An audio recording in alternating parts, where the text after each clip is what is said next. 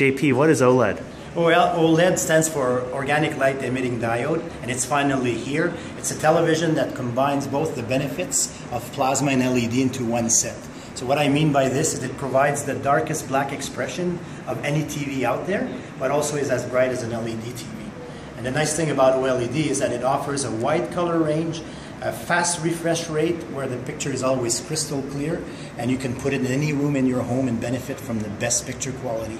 Now, this one is a curved OLED TV, and the big advantage, we call it timeless arena. The big advantage is when you're sitting in the middle in front of the TV, you have a more immersive experience because the screen is at the same distance of your eyes, regardless if it's from the center to the corners, and it provides an amazing picture ex experience, especially if you're watching movies.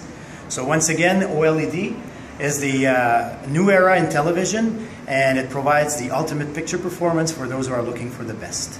Terrific. Thanks, JP. It's a pleasure.